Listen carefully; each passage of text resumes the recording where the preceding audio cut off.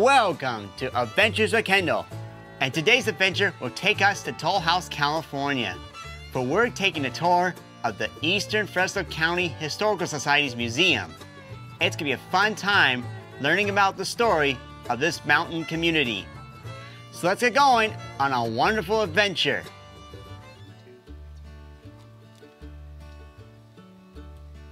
Welcome to the East Fresno County Historical Society's museum. Let's go check it out. This museum is dedicated to the history of the Eastern Fresno County area, which includes towns like Auberry, New Auberry, Tollhouse, Prather, Burrough Valley, Shaver Lake, and Big Creek, and is a fun way to learn the story of this unique area. Come on, let's head inside. Our first part of our journey is inside this one-room schoolhouse. This was built in the 1930s for the families of the Wishiaw employees, a tuberculosis sanitarium outside of New Auberry. Inside the Bud Olson School of History, you'll learn the story of the foothill communities that reside within East Fresno County. Whether it's the industrial side, ranging from ranching to logging to later the railroad and the construction of the Big Creek Hydroelectric Project, to life in the community, whether it's a business, home, or school. The exhibits here include this classroom setting, complete with desks and chalkboard, these dresses, and everything else in between, including this bear. Yep, the indoor exhibits of this museum are quite informative. But this museum is more than just little artifacts in one building.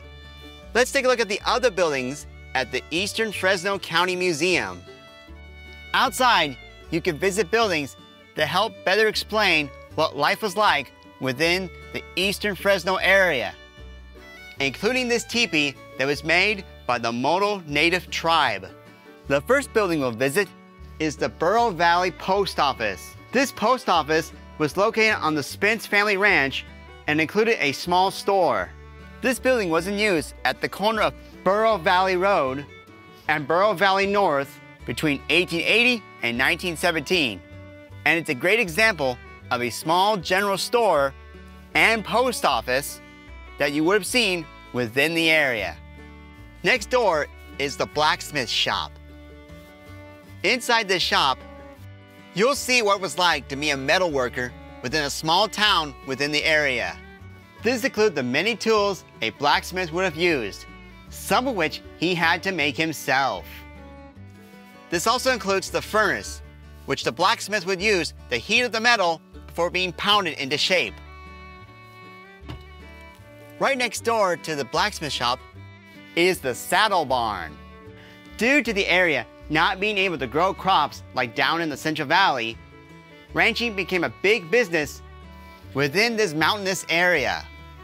Ranchers would take their cattle and sheep down Tollhouse Road. Here you can learn the ranching history that was going on in this area, and this includes a fine collection of saddles, a pack saddle, and even an inventory of brands used by these ranches. In fact, the sidewalk within the museum is decorated with these brands. There are also these saws from when there was lumber operations within the area. Did you know there are 27 lumber mills within this mountain community? Alongside ranching, logging in the area was a big business until the arrival of the railroad and the Big Creek Hydroelectric Project. And speaking of logging, let's check out an example of a home built from the material from said operations. This is a home made out of sugar pine. Inside this house, there is a living room, two bedrooms, and a kitchen slash washroom.